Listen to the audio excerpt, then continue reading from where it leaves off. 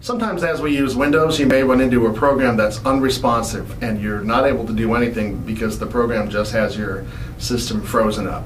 One option is obviously just to restart the computer, but another option is to go into Task Manager and just kill that one program. This is Paul, one of the techs from Micro Center, and today we're going to show you how to go into Task Manager and turn off one program. Let's get started. Alright, so what you're going to want to do is hit Control Alt Delete on your keyboard, which should pull up a screen. One of your choices there will be to go into Task Manager. Uh, the other way to do it from the desktop, right click on the task bar at the bottom of the screen and select Task Manager.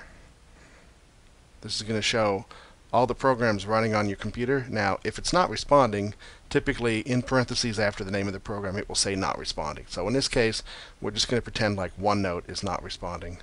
So you want to right-click it and select End Task. That will kill the program. Now, if it's really not responding, sometimes it may take a few moments to actually kill the process. In this case, it didn't because it really wasn't hung up.